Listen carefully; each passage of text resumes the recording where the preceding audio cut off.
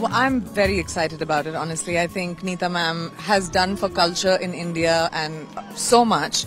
And I think the Ambani family really has their pulse on Indian culture and the pride of being from the country and, you know, the, for the global Indian specifically as well. So I feel like this is going to be really special.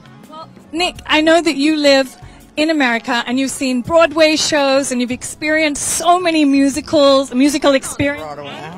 And been on stage so many times. What would you like to see at the Cultural Center? Anything special or unique to us?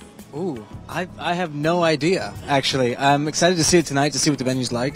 We obviously love the Ambani family and proud to be here and, and support. You guys should come um, and perform here. We should perform here. That's a good idea. I was going to say, maybe you would like to see the Jonas Brothers perform here. Let's do it. Let's figure it out. We've never played here. It'd be amazing. Yeah, played in Mumbai, that'll be amazing. Amazing. I'm buying tickets first. okay.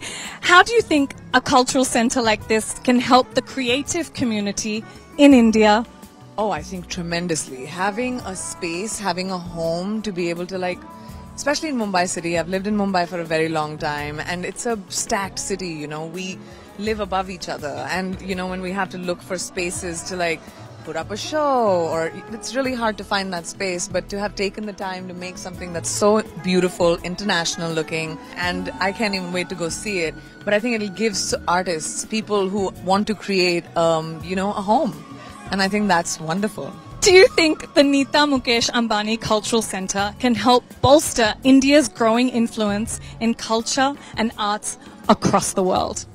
Of course.